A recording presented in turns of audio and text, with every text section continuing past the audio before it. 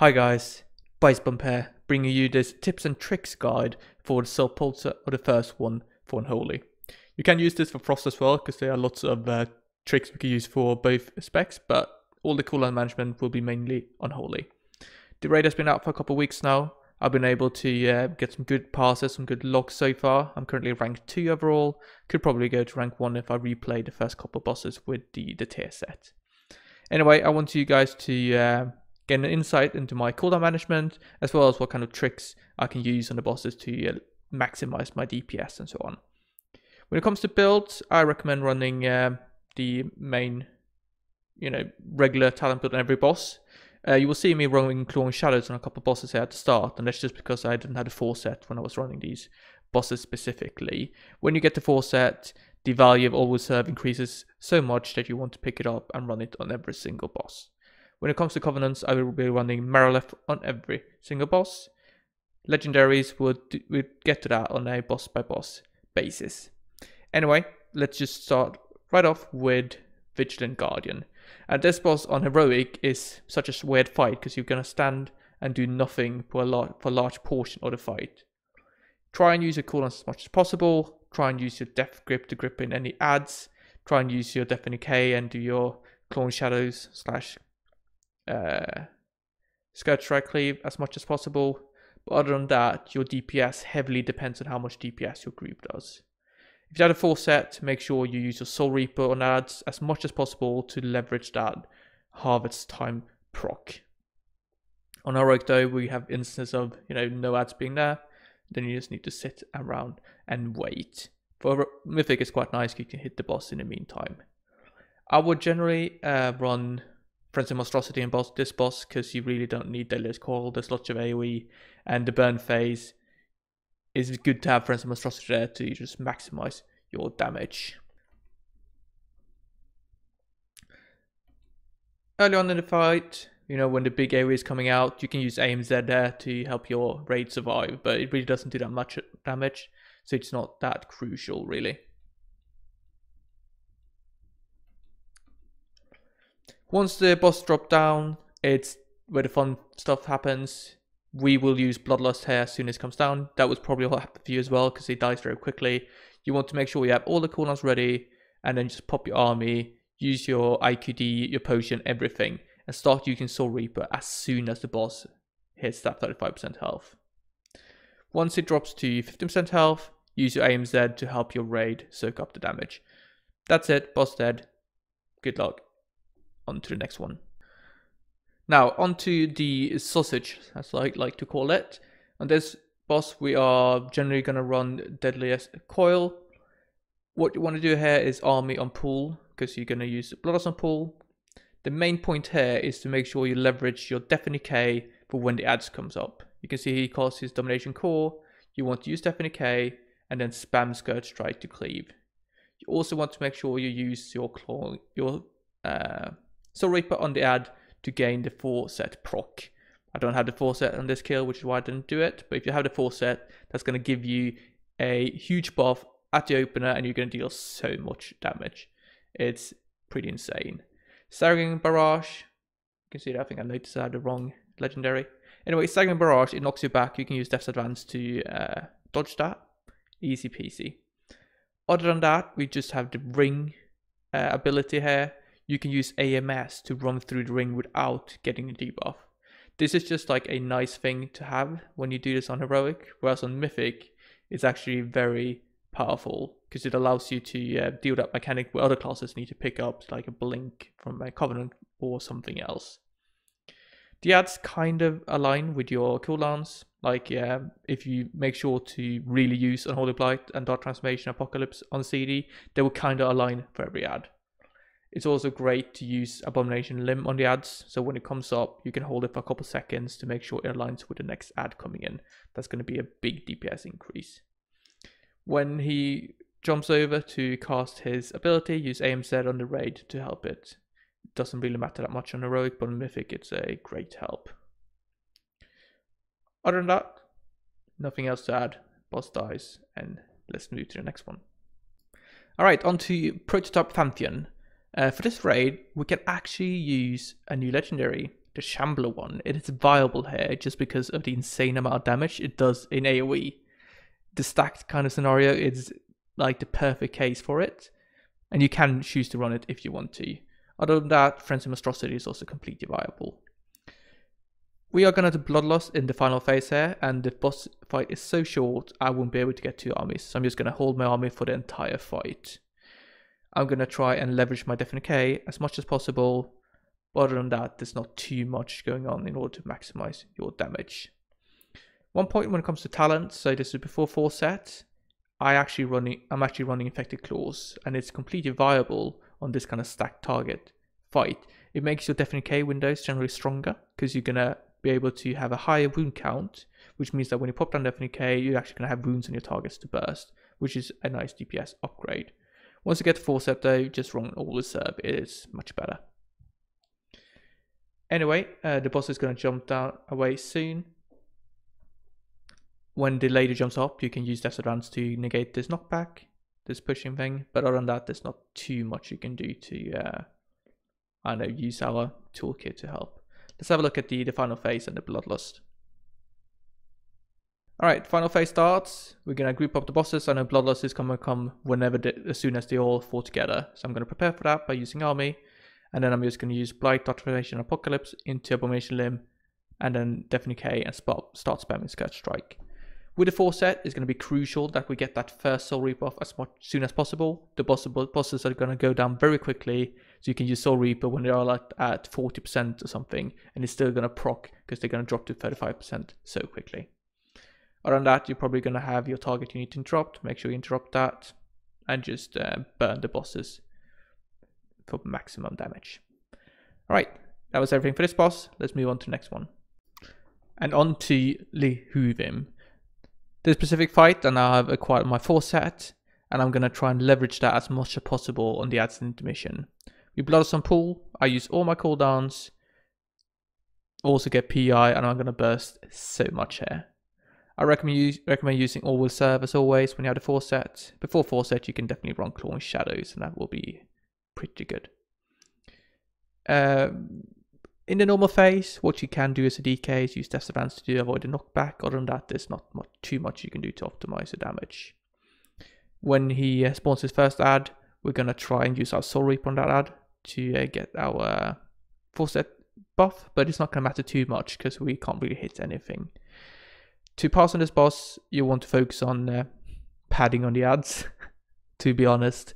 So what we're going to do is we're going to kill this one and then we're going to move right next door to use some uh, epidemic on the the small lads. You will see I I will um you know try and do as much damage as possible there. That dies very quickly. We move next door. These small lads spawn. We are going to pop our cooldowns. You know, uh, kind of paddy, but you know, we kill this boss easily, so might as well. We're going to try and use our uh, Soul Reaper on those ads. And when we get in the middle, we're going to Soul Reaper these ones as much as possible so we get as much poss much uptime on the full set as we can. So this guy's going to get Soul Reaper. When he gets, when the other guy gets lower, he's also going to get Soul Reapers. And then when the boss gets lower, he's going to also recruit some Soul Reapers.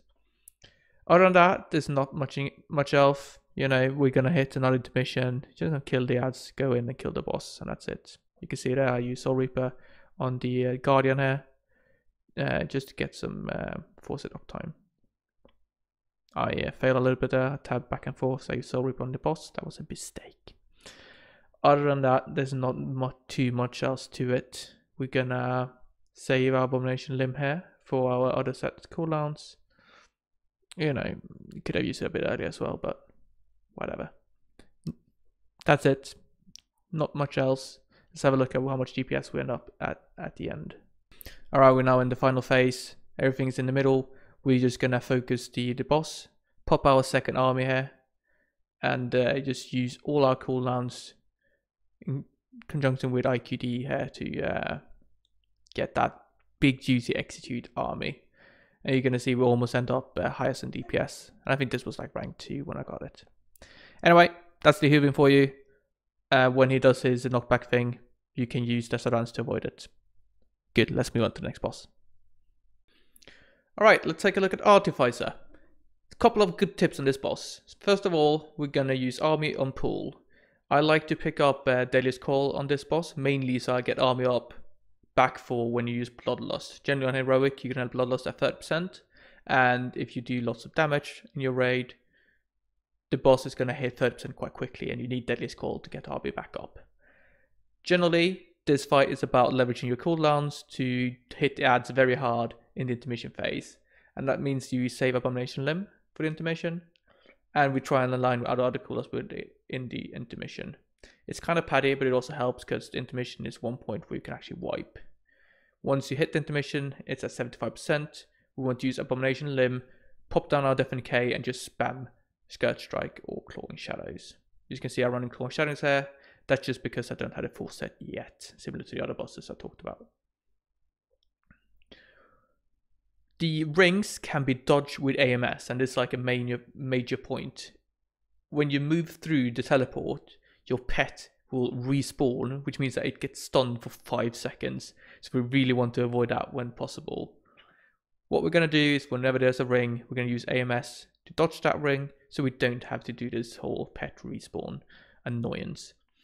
Furthermore, when the tank grips, we want to use AMZ on the raid to help uh, mitigate the damage. It doesn't do that much in heroic, but AMS will help make sure that no one dies from it. We killed this so quickly that my abomination limb won't be off for the second set of ad, sadly, but you can see I have my auto cooldown, so I'm gonna be somewhat happy about that.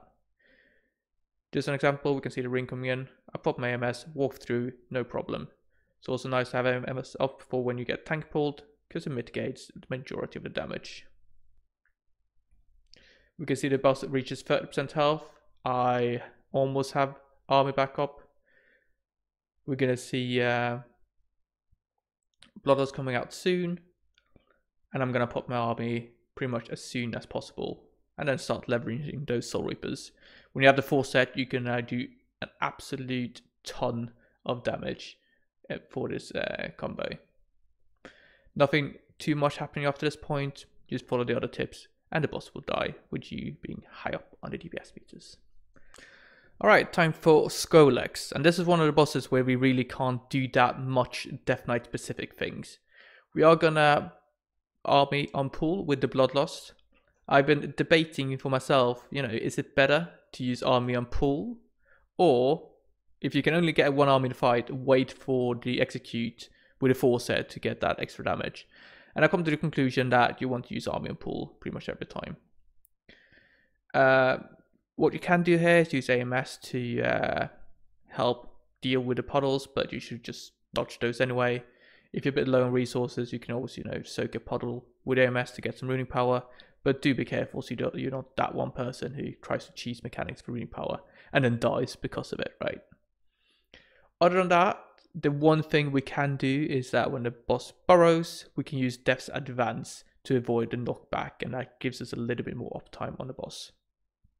Overall, though, this is just a very patchworky encounter where we cannot do much to get more DPS than just do our rotation properly. That's very quickly on heroic if you do much damage. That's it. Let's move on to the next boss.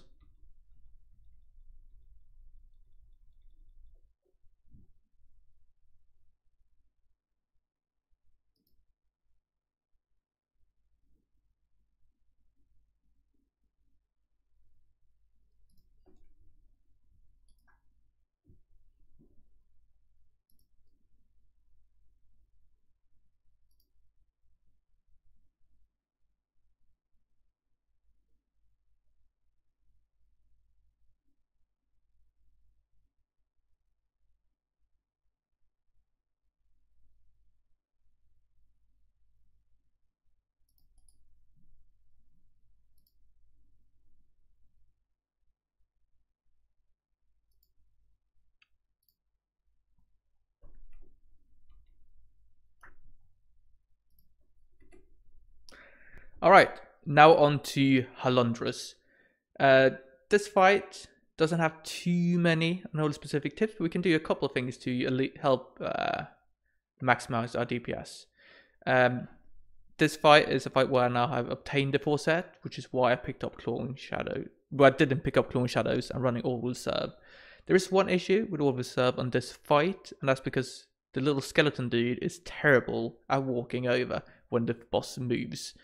What you need to make sure is that if he gets caught behind, make sure to resummon him. I have a uh, weak aura that tells me if the little skeleton dude is dead, which he he does die if he ends up uh, very far away from you, and then you just need to resummon him, and you do that by just pressing your normal summon ghoul button. Um, we can use anti-magic shell to help reduce damage when we get the missiles. In the walking phase, we can use Death's Advance to avoid a knockback. Since we're running Marileth, we can also use uh, Fleshcraft to avoid a knockback. You can see that I pointed out to my little skeleton dude, not running too well. Um, but generally, you just want to use, to use Fleshcraft on CD to have the mastery buff up, so don't save it to avoid a knockback, uh, just because you can, right? When you are soaking the balls and trying to knock them back, it's a good idea to use AMS to uh, stay healthy. You can also use AMS to move through the beams um, on the boss without taking any damage. Other than that, we just want to use our cooldowns as soon as possible. If you do these killers very quickly, you want to make sure you save. Uh, we want to make sure your Abomination Limb aligns properly with your army. I'm running Deadliest Coil to make sure my army uh, CD is very low, so that when I use my third abomination limb, I can use that with army. Let's um, jump ahead and have a look at what look uh, how our execute uh, phase looks like. All right, so we made it through boss. I'm now spamming Soul Reaper, making sure I have 100% uptime.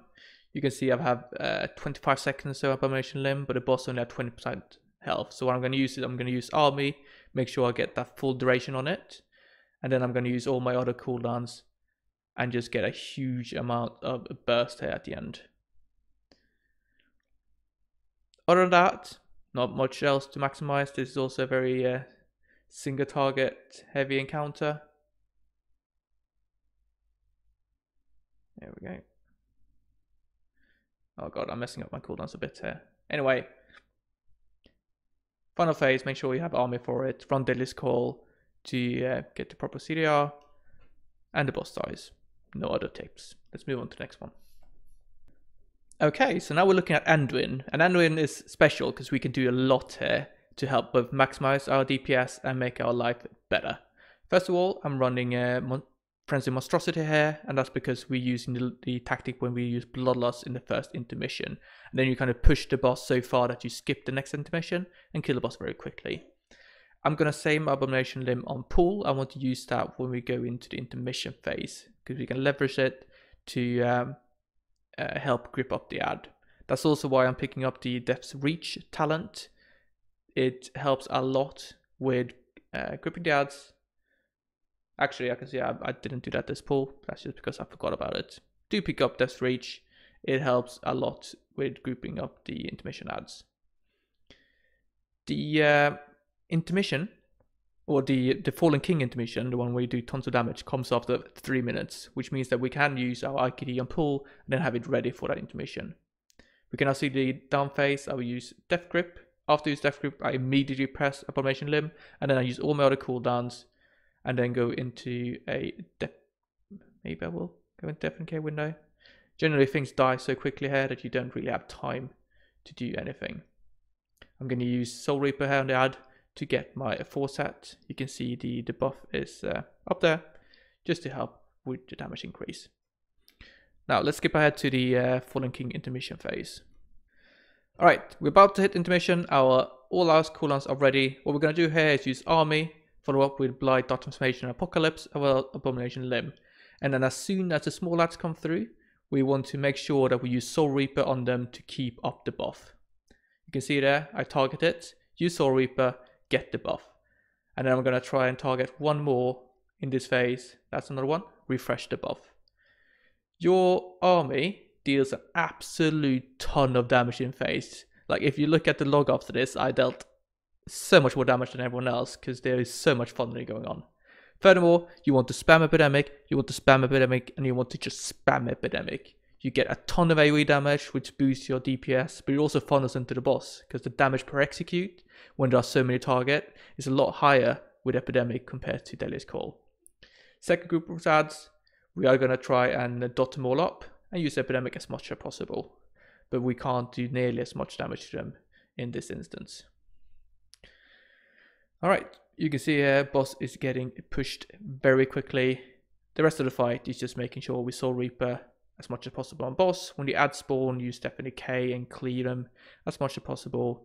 But other than that, that's essentially the Fallen King phase. That's where you make or break your DPS. In this case, you can see I did a ton of damage, which is why I got a very good pass on this boss as well. Here we can see we are dealing with an ad. We are going to puff down Death and Decay, I think, prioritizing Soul Reaper, and then use some uh, Scourge Strikes clean. Also make sure to interrupt the ads with your unusually long uh, interrupt for a melee. Lovely. Let's move on to the next boss. Alright, time for Rygelon. On this boss fight, using the Abomination Limb is dangerous. That's why we're to use Army and then Abomination Limb instantly on the opener. I'm running uh, Frenzied Monstrosity here. Uh, I probably should have run Deadliest Call looking back at it. You see those first Quasars spawning? You need to make sure you have a cancel or a macro so that you can cancel your Abomination Limb. Otherwise you're going to grip them in and you're going to ruin the raid for everyone. Your main focus on this fight is going to be to leverage your Soul Reaper to keep up your buff. When I look back in the logs, I'm managing a 70% uptime on that 50% pet damage increase buff. That's what you're aiming for. So whenever there's Quasars, you should make sure that you have uptime on your buff. You can see me there. I'm always looking at the Quasars, making sure that I know when's the next one coming. Which one can I Soul Reaper? Boom. Get the buff. When we go into the intermission, he's going to push us back. Use Death's Advance to avoid that. You can see me using Death's Advance. And then I pick one of the... There we go. Intermission phase. We're going to use AMZ on our raid to make... To help mitigate the damage that the balls do. We're also going to make sure we use Soul Reaper on the balls appropriately to gain the buff. We don't actually need to damage them, they kill themselves, but we want to make sure we um, you know, get the extra buff from them. Other than that, same thing in the next phase, we're just going to use Soul Rip on the ads, make sure we use our uh, cooldowns as soon as they come up. Abomination Limb, the next time we use that is going to be in the next intermission phase. We never want to use it other than on pool or in the intermission phases. All right we're going to try and combine our next army with that as well. And I think if I'd actually properly run Deadliest Coil in this file, fight, uh, I would have I would have had army up properly for the uh, the next abomination limb. But you know, a mistake. I still got rank on this boss, rank one on this boss, so that's nice. But I'm also getting PI, so it's helping a little bit. Anyway, uh, no other tips on that boss. Soul, uh, Soul Reaper usage is everything. If you don't want to run uh, if you don't want to run Necrolord, you can run uh, Dreamweaver, Dreamweaver with Korayn. You get that first strike buff so much by hitting the, the Quasars when they spawn. It's like 25% crit throughout the fight. So it's definitely a viable alternative if you don't want to deal with these cancel aura macros and not having, not being allowed to use Abomination Limb. Alright, cool. Let's move on to Lords of Dread. Alright, so, Lords of Dread fight, this is all about maximizing your damage for the, the swarm damage windows. Therefore, we're running Monstrosity, uh, Frenzy Monstrosity, make sure we get that extra AoE damage, and we don't really need the uh, cooldown reduction on Army. We're going to use everything in our pool except Abomination Limb and Army. The Swarm phase comes after roughly 45 seconds, so it aligns quite nicely. We're going to try and uh, leverage our K as much as possible on this fight. Make sure we uh, do get the cleave we can. Furthermore, we are making sure we pick up Death's Reach, you know, the extra range on, um, what's it called? Death Grip. As soon as the ad reaches 100 health, we're going to grip that in and make sure we leverage Soul Reaper on it to get some extra uptime. This is especially good for the first swarm phase. The ad is going to get gripped in and then this first swarm phase is going to happen and we're going to be able to uh, soul reaper the ad to get that buff with army with bloodlust with the swarm to just deal an absolute insane amount of damage you can see here army is up I'm popping everything. I'm going to pop down Death and Decay. I'm just going to spam Scourge Strike. And you can see I'm just going to hit a ton of damage. They changed it recently, if you guys saw it. They now take 100% damage from all sources. It's not just AoE, which is why it's so important to make sure we use army when they get the swarm. Other than that, there's not that much tips. You know, make sure you use Def, def and Decay on cooldown. Use your other CDs on cooldown as well. That will ensure they align well with the uh, damage phases. So if you make sure you use Blight DT and Apocalypse every 45 seconds, they're going to naturally align. Furthermore, keep grouping in the ad and use Soul Reaper to gain the buff as much as possible. Other than that, nothing else much to add. Make sure to save your Abomination Limb for uh, all the Swarm phases. They're a little bit more than two minutes apart. So just hold it for a couple seconds. Cool. Now on to the final boss, which is uh, the Jailer. Let's take a look. Okay, final boss, the Jailer. On this fight, we're gonna run Deadliest Coil, but Frenzy Monstrosity is also very much viable, and I think actually better. Might swap to it. No, never mind. We're gonna blood us some pool. I recommend you to do so as well. Makes the fight generally easier because you're gonna push it at a lower health percentage. I am. I do have the uh, Faucet here. I'm gonna try and leverage that as much as possible when I can in the fight, which is unfortunately just right at the end, but still gonna focus on that a lot. We in the first phase we can really only use our cooldowns as soon as they come up, as well as using our Death's Advance when the boss does his pull towards him. It's a generally good idea to save AMS if you get the, the runes you have to jump into a hole because that deals a lot of damage and you risk dying from it. Other than that, not too much to focus on here. One thing, we can actually uh, hold our Abomination Limb for our other cooldowns. In the final phase, we're going to have these ads spawning, right? And we're going to want to use Abomination Limb to grip them all together. That means we're going to hold Abomination Limb for some period of time. And that means that it's not as important to use it as much as possible because we're going to have to hold it anyway. So hold Abomination Limb for your Blight DT combo uh, in the first phase. All right, so in the second phase, we want to help the group CC the players that get MC'd. And what we use here is Grip of the Damned, I think. The talent that makes Death and Decay slow a lot. As soon as people get MC'd, we're going to pop down Death and Decay, and that's going to help a lot, both to slow them, but also help us cleave on them with uh, Death and Decay. If you do get MC'd, do not pop AMS like I do here, because people won't be able to stun you with magic stuff. Um, that is mistaken. I nearly die for it. And We're having a bit of fun here. That I nearly made it through the edge. Uh, anyway, don't pop AMS when you get MC'd. Okay, you will probably die. Other than that, you can use Death's Advance to avoid the knockbacks. You can use your uh, Fleshcraft and Marileth to avoid the knockbacks. You try to be mindful of everything going on so you don't accidentally get knocked in the wrong direction. I think in this fight I nearly died because I wasn't paying enough attention. So. Oh well. Anyway, let's take a look at the, the final phase. Alright, we're now in the final phase. Here you're going to want to use Soul Reaper on CD as much as possible. We want to keep up our Faucet buff and we want to make sure we damage the boss as much as possible.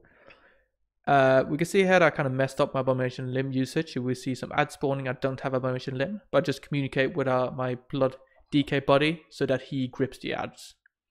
When the ads spawn, we're going to want to use uh, Death and Decay to do as much cleave as possible, but these going to die very quickly. Instead, we'll be focusing on the next set. You can see here I have army ready. I use it on pool and then I kind of hold it throughout the fight because I want to use it exactly when it's needed in the final phase. Abom army with our Soul Reaper with Abomination Limb is going to burst so much and you're going to see me just popping off on the meters in the next set of apps. Let's just um, uh, fast forward until that point and you guys are going to see it. All right, next set of ads coming. I know it, so I pop my army. I use all my CDs. I use IQD, Dark Transformation. I use my Abomination Limb. And this point, I am blasting so much. You can see that I started at like 12k. And I'm going to end up at like 14, 15k. just from this huge burst of damage. I also get PI. It's so much burst. Cool. That was everything for uh, the Jailer. The tips to uh, deal as much damage. It's all about uh, maximizing that uh, abomination in the final phase, using your armies properly, and so on. Cool. That was all the bosses. I hope you guys found that useful. I hope I didn't ramble too much, and it's gonna help you pass better on all the fights. Thank you very much for watching. Leave a comment down below, upvote, downvote, consider subscribing, hit me up on Acherus Discord if you have any questions, and I'll see you guys in the next video. Thank you very much.